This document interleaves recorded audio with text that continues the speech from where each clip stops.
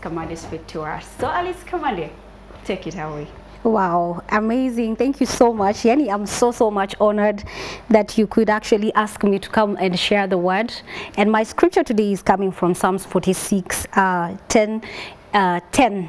Uh, basically, when Nick called me, he called me last night and told me, by the way, um, I hope you don't mind to just share a, a, word with us, like for five minutes. And I was like, oh yeah, uh, let me just see what it is that in this season God has been speaking to me about. And uh, I'm sure that whatever it is that God has uh, placed in my heart is also something that is also uh, something that will also help you in your life. Uh, so my scripture of today is on uh, on Psalms 46, but more specifically on Psalms 46:10, uh, which says that he says, "Be still and know that I am God. I will be exalted among the nations.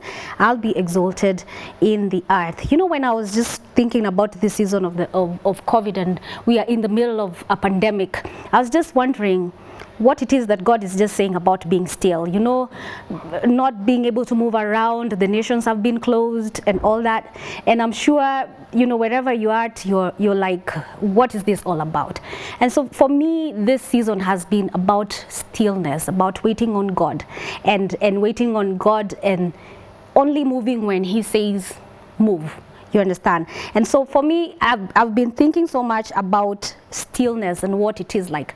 You know, Digenix, I was just thinking about a seed when I was thinking about stillness. You know, when you place a seed on the ground to grow, uh, one thing you don't do, you don't keep remove, removing it mm. or moving it from one place to another. It's more likely to die. And sometimes we are like seeds that God actually, our lives are like seeds and sometimes God, because we are in God's vineyard, He places us on the ground so that we can grow. And in that stillness of being under, you know, mm -hmm. that seed being under the ground, there's something that it's doing. You know, sometimes in stillness, we, we usually feel like there's nothing happening. But I know that I know that I know for sure that in stillness, there's so much that is happening. You know, when, when it's it's still it's quiet, you know, and sometimes so many of us don't love, you know, being quiet or being still. But God has been saying in this season, I am ensuring that there is nowhere you can go and there's nothing you can do mm. until you have to listen to me. And so apparently it's it's happening, but God loves us so much. He just wants us to listen in so many different ways. Some have lost jobs, some you know, are working from home, you know, there's all these happenings, but the, in this quietness, there's something that God is doing. It might look quiet, but we are like that seed that has been placed on the ground. If it is removed from that ground, it will not put its roots in that soil so that it can be able to absorb every nutrient that it needs to grow. It's the same thing that God wants for us at this particular time. If God places us in a in, in on this ground, it, it's a ground that is still at this particular moment. He wants us to absorb, to absorb everything that we need so that our future and our generations to come will be greater and more beautiful. And so even to finish off with this, um, I just wanted to say from 46, let me just read the whole of 46, which says, God is our refuge and strength and ever-present help in trouble.